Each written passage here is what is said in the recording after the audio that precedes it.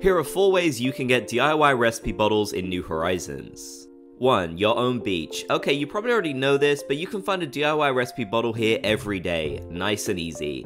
2. Mystery Tour Islands. Using your Nook Mile tickets, you can visit Mystery Tour Islands and get even more DIY recipe bottles. You might not see one every island, but it's a great way to farm lots of them. Too bad we still can't hop from one island to another via Orville. 3. Cap'n Islands. These DIY recipe bottles are even more special as they might contain out of season DIY recipes, since Cap'n Islands can be found at different seasons from the one you're currently in.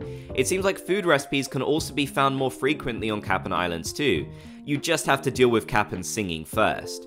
4. Happy Home Paradise. You can find DIY recipe bottles here which can contain special DIY recipes such as the ruined vine or glowing moss items. Leave a like and subscribe for more Animal Crossing tips and tricks.